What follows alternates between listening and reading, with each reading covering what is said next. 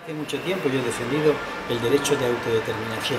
Para ser más claro, que el pueblo de Euskadi, o que el pueblo de catalán, o que el pueblo gallego, u otros pueblos del Estado español puedan ejercer su derecho a dirigir sus destinos y también que asuman, evidentemente, las consecuencias.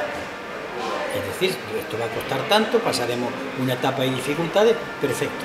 ¿Por qué? Porque por encima de eso no hay ninguna autoridad posible. Además, en, estas cuestiones hay dos escuelas, la alemana y la, y la francesa.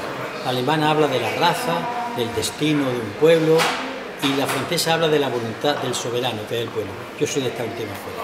La voluntad del pueblo es la que vale. ¿Usted cree que la, eh, la, sociedad vasca es soberana? Soberana no hay nadie en estos momentos, pero puede ejercer un acto de soberanía. Pero para ejercerlo tiene que estar informada. ¿eh? El soberano no puede estar mal informado. El soberano tiene una responsabilidad tremenda. Yo muchas veces cuando la gente vota digo, un momento, ¿eh? votáis y sois también responsables. ¿eh? Pero por eso digo que en el momento de votar en una independencia de Euskadi, ustedes saben lo que quieren, saben lo que puede costar esto, muy bien, han decidido, vale, adelante con ello.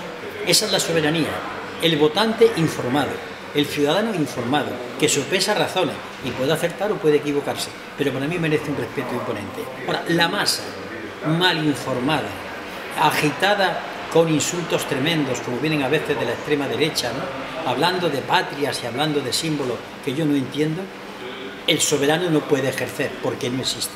Es simplemente unas personas amaestradas.